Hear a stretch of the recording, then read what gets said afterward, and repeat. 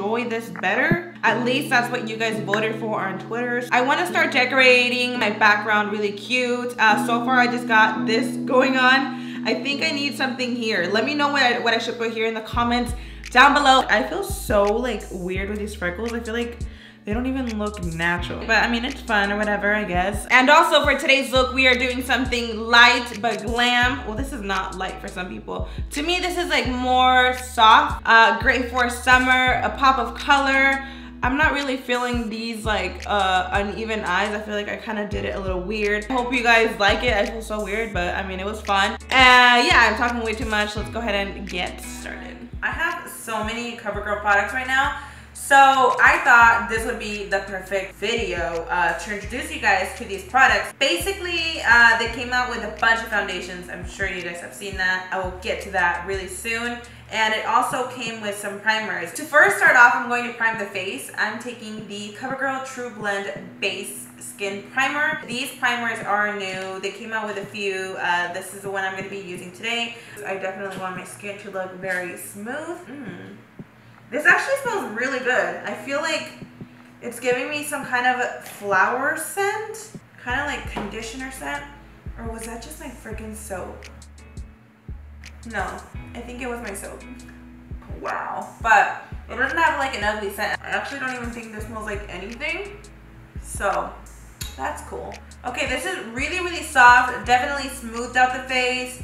I don't want to say it mattified my face. I still feel a little just a little glossy. Now moving on, we are going to use the Luminizing Lotion. And this is, huh. I feel like you can mix this in with foundation, but what I'm going to do is just kind of dab this all over the face. And it's going to give me just that nice glow. I'm trying to figure out the smell. I like the glow it's giving me because it doesn't look so bad. Like, it looks like it's naturally coming from me. So I'm sure you guys have seen a lot of reviews already on this new CoverGirl TruBlend Matte Made Foundation. They pretty much sent me a bunch of shades and I've been just trying to give them away to like my family and friends because realistically I'm not going to use all the shades. So realistically I don't think I stayed with like my true color. I'm either going to mix this or use one of these. So I have the color light 50 and medium 70 and I feel like lights would probably be a lot better. But then again, like, I don't mind looking tan sometimes. I think I wanna go for the tan color just because when I highlight and everything, I'm able to balance it out. It's actually my first time using this foundation and I'm really excited. It's a matte foundation. I'm all about matte. Okay, so it looks a little darker than my skin tone, but what y'all do not know is I went to the beach, I want to say like a month ago, and I got so burnt on my chest. So I feel like naturally if I do use a more tan foundation, it will match me. I almost feel like this is oxidizing. So I don't know if going with a darker shade was a good idea. Hopefully with my concealer, we, we can kind of fix this situation because I'm freaking out at this point. I didn't think it would oxidize. Oh my God, this is insane. I was watching Adrienne Bailon's uh, video. She actually has a YouTube channel. I'm sure you guys have already came across it. I love watching The Real, so I'm like obsessed with all of them. So when I found out Adrienne came out with a channel, I was like, oh my God. In her tutorial, like she uses a really dark foundation, but she's able to kind of balance it out with concealer. So I'm not really tripping. I feel like I got this. I'm going in with a CoverGirl Vitalist, Vitalist, Vitalist. For some really weird reason, I don't know what shade this is. All of the concealers I got have no like name. Oh my god. This is a lot lighter. Kind of reminds me of the MAC highlighting pen. I'm definitely applying a little bit too much. I almost feel like it's kind of drying fast, but the coverage is for sure there. Like it dries fast, but not fast enough where I'm struggling to blend out the other side of the eye. I'm just going to lightly bake the face before we move on to powder. Just get under those eyes to really uh, prevent that from creasing. And the forehead. Pretty much the center of the face. I'm currently baking the face. So what I'm gonna do while it's baking, I'm going in with the CoverGirl Healthy Powder, and this is in the shade Classic Ivory. I love using flat brushes, flat kabukis, because I feel like it just really gives you the best coverage. I mean, really whatever you're used to. And the great thing is, this is actually, I think, my color. So if I'm looking a little crazy, this is gonna tone it down a little bit. I feel like the foundation underneath kind of clinged really weird. It looks gray. It looks like I have some kind of contour, but it's the foundation under. Okay, this is not working out. I look so bad. I already walked outside to see myself because sometimes the lighting is so different and I just look worse. I'm looking really gray, really patchy. In person, it is so much worse. Like you guys have no idea. I just have to stop right now and just wash this off. I am back. I primed my face. I illuminated it. I'm starting to think that the primer is the one that smells really good. It was not my hand soap. So since I am starting all over again, I did notice I didn't use the Healthy Glow highlighters. Since it is cream, we're going to apply it before. And this is in the number three. I almost feel like this is a little tan. Yeah, I feel like my luck today is just not there. It's been a bad day, guys, honestly. I was getting my setup ready. I was almost breaking the lights. I think I almost dropped my camera. Like, it's just been not the best day. We're gonna have to switch that. That's looking a little crazy. There's the number two, and I feel like the number two, that seems to be a lot better. I'm going to apply a generous amount. It's kind of like more wet than creamy for this one. I'm not sure why. I think I'm applying a lot just so I could cover the darkness under. Yes, that is giving me that glow. So I'm starting to look a little bit more glowy. As you can see, like I put a lot, but because I applied it underneath, I feel like that won't be a problem. So let's move on to foundation. I'm going to go in with light 50. Let's hope it doesn't change as much. Actually, one thing I forgot to mention was I really tried to moisturize my face before this more than usual because I did notice it was clinging onto my skin. So I noticed with foundations that are usually matte like this, that will happen. So sometimes you really just gotta take that extra step and moisturize a lot more. Like even though I have oily skin, not all my face is like oily, you know? So it's gonna cling in certain areas. Do you see how much better that looks? So I'm gonna wait a little bit while I apply my concealer. We'll see if it does oxidize. And even if it does, I mean, it really can't get as bad as the other foundation. So I'm just going in with my concealer and I'm gonna do the same thing. I'm just going to bake under the eyes and then we'll move on to the other powder. All right, so I'm baking the face now. I feel like everything's turning out great. The foundation is kind of oxidizing a little bit. I feel like it's just getting a little darker. Okay, so hopefully the foundation did not cling on me. I'm going to take this powder. This is the CoverGirl Vitalist Healthy Powder, and this is in the color Classic Ivory. We're gonna use a big fluffy brush this time just because I don't want it to be so cakey. I think the combination of, you know, applying so much powder with the kabuki plus the foundation clinging, it was just overall making it worse. So, oh my God, I think I know what's happening. So I think where I am baking, it's looking fine, but where I'm applying the powder, it's like clinging on the foundation and it's giving me this like streak. I think it oxidizes more when you set it because this already is my skin tone. So that makes no sense to me. I went ahead and set the whole face with translucent powder. Now what I'm going to do is just go over with the face powder. I don't even know at this point if it's a foundation or the powder. All right, so we have the bronzer on. Oh my God, I, am still, we're not done. So I can't really tell y'all what I feel yet, but it's definitely I've been struggling. The bronzer's getting on really patchy. I don't know, like I'm really trying to get to the bottom of it. I don't know if it's the foundation. I don't know if it's the powder. Who knows, maybe it's the primer. Like something in there is wrong. Like maybe it's not combining right together. We're gonna move on to brows because that's exactly what I need to do right now. All right, so now I'm going in with a CoverGirl Rich Brown Brow Pencil. This is in the number 705. I recently dyed my hair black, so I mean, even before that, I I just really like dark brows, but my hair like doesn't look black. I don't think I dyed it right. I think this is like so waxy to the point where the pigment is not getting on there.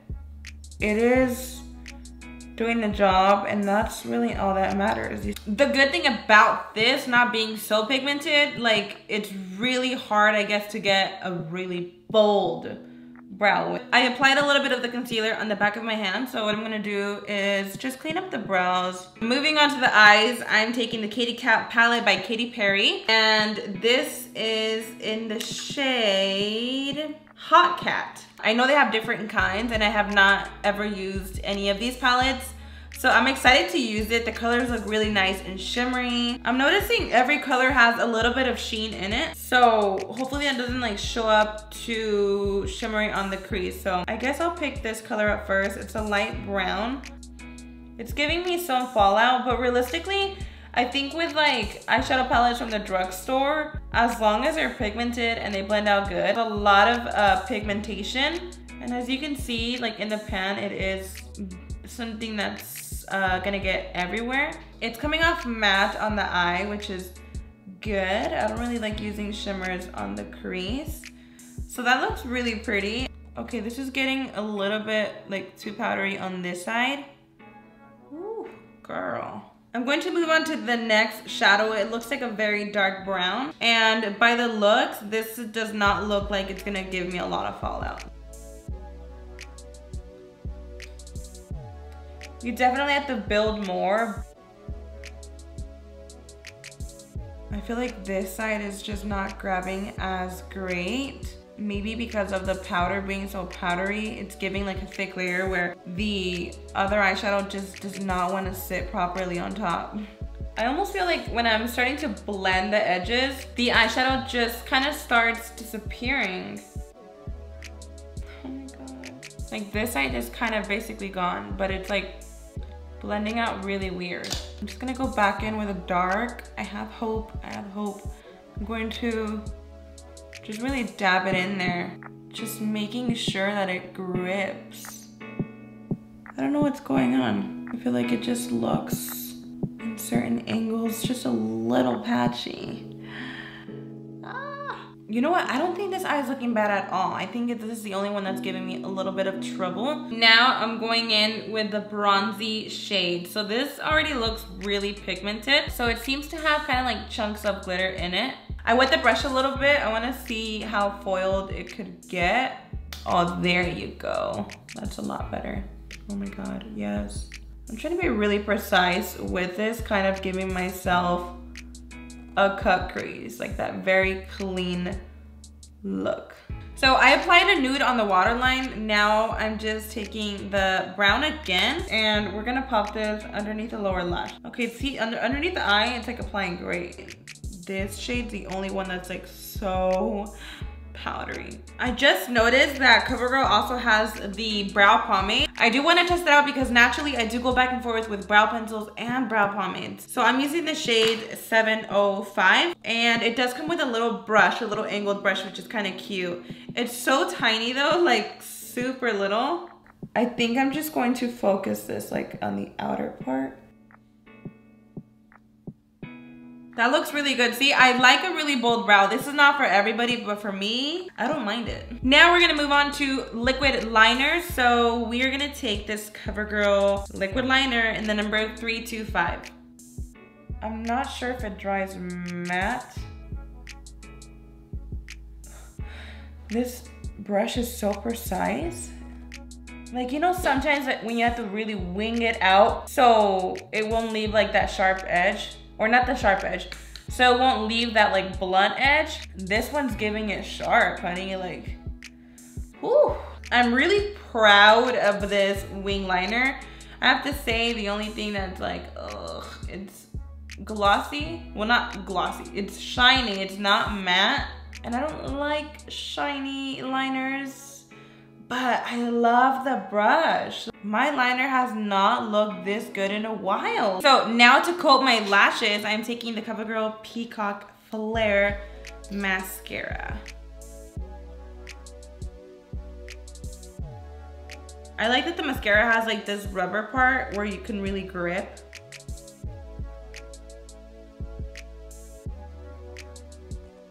I'm actually gonna go in with a darker shade. I completely forgot to do this. I'm just gonna pop this underneath. I totally forgot to do this. But this is gonna really like define the eye. I think these are from Temp Makeup. If I remember, I'll definitely uh, let you guys know. But I've had these for a while.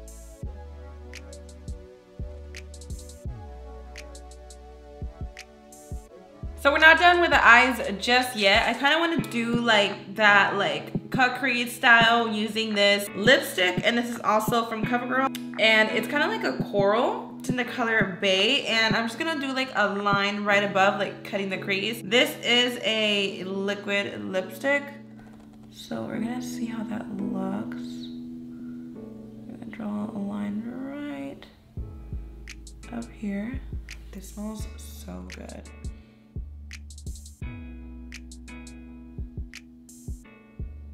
I'm not sure what to feel about this look. Like, I feel like I don't know if I made it worse or like I'm kind of digging this a lot better. I always have this trouble too where I do one like lower than the other. So this one's like, it peeks through when I have my eyes open and this one hides. So I kind of screwed up. So I'm gonna move on to lips.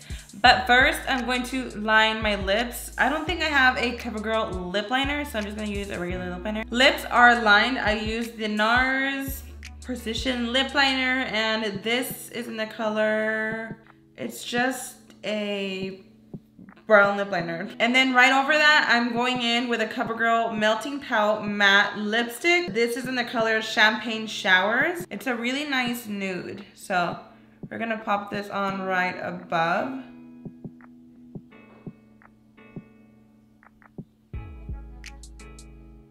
And now what I'm gonna do is take the Katy Perry lip gloss. And this is actually like a really bright lipstick. It's called Tabby T. Uh, I wanna do a small amount. You guys know I love lip gloss, but I don't think I have like a nude lip gloss from CoverGirl. So I'm gonna do like light little taps and hopefully that could give me the kind of glossy lip I'm going for.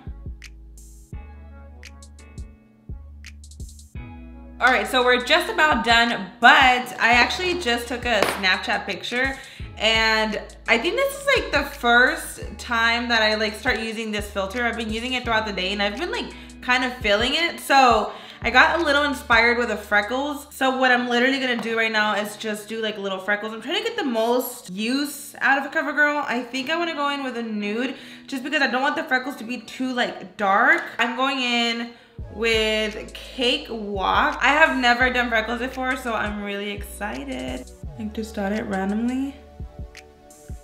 I don't want them to be so big though. I think I'm just gonna go over them a little bit.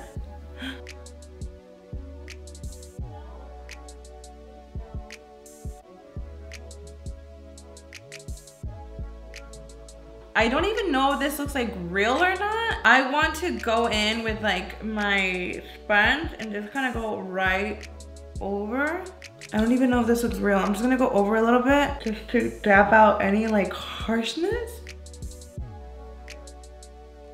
How do they look? I kind of like them. I feel like they're so obvious though. Like, I think I did this wrong. So that pretty much completes this look. I hope you enjoyed it. I feel really like funny with this. I love freckles. I just don't know if they go with me. I don't know if they look like too obvious. Uh, but you know, it's all for fun. I hope you guys enjoyed this like summer makeup look. I'm glad I was able to test out these CoverGirl products. I know I didn't do like a full face using CoverGirl, but it was fun testing out some of the products. I hope you enjoyed. If you did, don't forget to give it a huge thumbs up. Also,